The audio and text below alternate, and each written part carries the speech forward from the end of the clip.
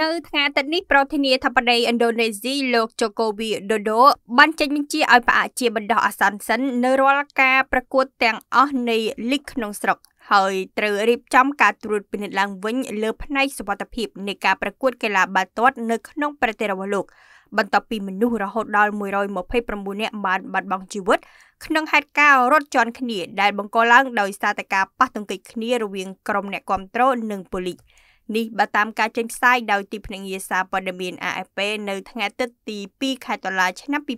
2022នៅក្នុងការថ្លែងសារតាមកញ្ចក់ទូរទស្សន៍លោកវីដូដូបានប្រកាសថារដ្ឋមន្ត្រីយុវជននិងកីឡារួមជាមួយស្នងការប៉ូលីសជាតិហើយនឹងប្រធានសមាគមបាល់ទាត់នៃប្រទេសឥណ្ឌូនេស៊ីត្រូវបានបង្គាប់ឲ្យរួមគ្នាបើការត្រួតពិនិត្យនិងវិតម្លៃឡើងវិញ ទៅលើការប្រកួតដូចជានីតិវិធីរក្សាសន្តិសុខស្របពេលដែលគម្រោងរៀបចំការប្រកួតទាំងអស់នៃលីកបាល់ទាត់ក្នុងស្រុកត្រូវបានផ្អាកជាបណ្ដោះអាសន្នដោយឡែកអភិបាលខេត្តចវ៉ាខាងកើតបានប្រកាសថាក្រុមគ្រួសារជនរងគ្រោះនឹងទទួលបានថវិកាចំនួន10លានអឺរ៉ូពីដែលស្មើនឹង980ដុល្លារអាមេរិកក្នុងមួយគ្រួសារ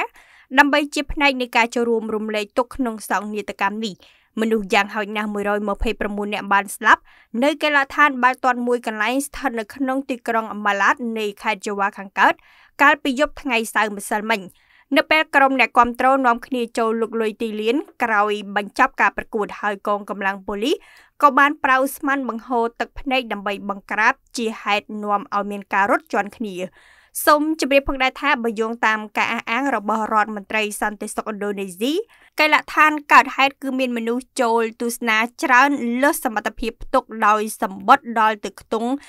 42000សន្លឹកត្រូវបានប្រកាសដាក់លក់ខណៈចំនួនកំណត់ដែលកីឡដ្ឋាននេះអាចផ្ទុកបាន គឺ38000នាក់ប៉ុណ្ណោះក្រៅពីអ្នកបាត់បង់ជីវិតមនុស្សប្រហែល180នាក់ទៀតក៏ត្រូវបានរាយការណ៍ថារងរបួសក្នុងហេតុការណ៍ខាងលើផងដែរ បូរីមេកុងឡែនបង់ប្រចាំខែចាប់ពី400ដុល្លារឡើងទៅបូរីមេកុងឡែនផ្ដើមជីវិតរីករាយនិងជោគជ័យនៅទីនេះ។